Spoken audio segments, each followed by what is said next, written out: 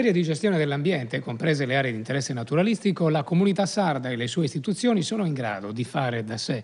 Con questo spirito la Giunta regionale ha deliberato di dare incarico all'ufficio legale di sollevare, nei confronti del governo, il conflitto di attribuzione.